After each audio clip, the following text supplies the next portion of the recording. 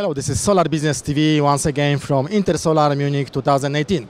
And now we are together with uh, Alex Levran, who just came here from far, far, far away from California. Uh, why did you come actually to Europe? Uh, I came to Europe because um, uh, I'm part of the SUMEC management. Uh, um, the shows that we attend in Solar are global. A lot of customers from US and Americas are coming here. And uh, that is a good opportunity for us as a management to introduce SUMEC in Europe, in uh, Munich, but also for the customers from overseas. But afterwards also you are going to Turkey and to China, yes? Right, I'm going from here, I'll be traveling more. Okay.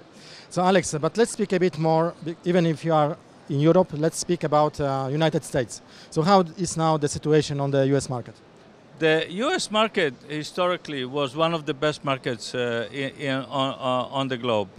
Of course, it's not as big as China, but it, it is growing uh, very nicely to, to 12, 14 gigawatts a year. What is uh, dis- disrupting this year the, the market a little bit is the module, uh, uh, first of all, tariffs, the Rule 201, and now with the change in, in um, government decision in China, makes the module pricing vol- volatility very high. And in such situations, the market simply goes to a stop, people re examining their financial uh, uh, needs and uh, for module price and so on and so forth. So it simply puts the, the market on a, on, a, sh- uh, on a slower pace than we expected. But in general, the market in US is excellent. And what is now, uh, you know, like a um opinion of utilities about the market? Do they also, like you know, like in Europe, NL and others, they are entering very aggressively in uh, the renewable energy? And how does it look in the US? Uh, we we see basic, basically the same phenomenon now. Uh, some utilities they don't like uh, the renewables and they keep uh, it out of their territory. But many um, uh, utilities like uh, Nextera, like uh, others, are very very aggressively pursuing renewables, solar par- particularly now, but also wind. And what about um, other countries in Americas? Yes, because you are in charge of Americas. So do you see also the progress, and especially in Latin America? Uh, yes, definitely. Latin America actually growing faster than even the United States or even Central America. But uh, Mexico is very huge growth of utilities because they deregulated their uh, con- conventional utilities. Central America is uh, in love with solar now. We see a lot of new projects going in Colombia, in of course Chile because of the mining industry and a beautiful irradiation. there. solar in Chile, Argentina. Uh, what we see in, in Latin America, the biggest influence is the fact that up to this point, the energy was uh, uh, generated by hydro, but because of the El Nino and uh, the, the shift in, in uh, rain patterns, every, every second year we have drought and, and so our third year, that created a shortage of energy that is supplemented very quickly with solar.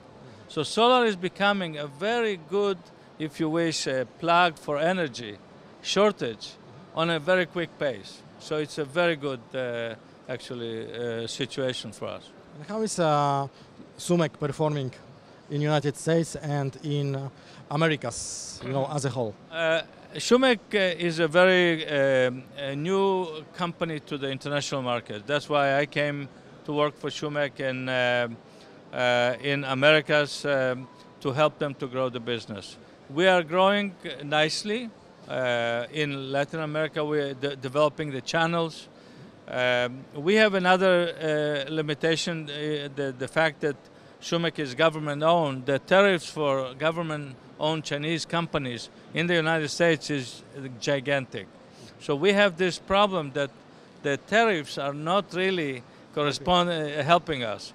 But we have partnerships uh, that SUMEC to produce products per uh, designs in Vietnam, in Korea, in in uh, Turkey. That's why uh, Mr. Cai is pushing expansion of the strategic expansion of manufacturing base outside China to support countries like United States for for tariff uh, uh, elimination. Okay. So in China, uh, SUMEC is not only like manufacturer, but it's also owning solar parks, exploiting uh, like I think like almost two gigawatt. Yes. Yes. Is it also the business model that you will be introducing to uh, Americas? Uh, yes, uh, de- definitely to Americas, more in Latin Americas and Central America than US, but uh, because uh, you, you don't want to compete with your own customers, okay? But uh, definitely, uh, um, we have EPC capabilities, and we are introducing them to our customers, future customers in America. But also uh, you are helping with investments. Yes. Uh, we are yes. We have also as part of the EPC, we're providing uh, financing to the projects. Yes. So the last question, uh, Alex, uh, how do you see the development of uh, U.S. market? You know, with all these circumstances, and how do you think that uh, SUMEC can be, you know, one of the major players in the country? Well, Schum- is a profitable company, so economically we are uh, uh, stable and, and uh, paced for growth. The, the issue of uh, module volatility, module price volatility, uh, in the last 15 years we had every second year we had the same situation for different reasons, but the same situation. So I don't see that to be catastrophic.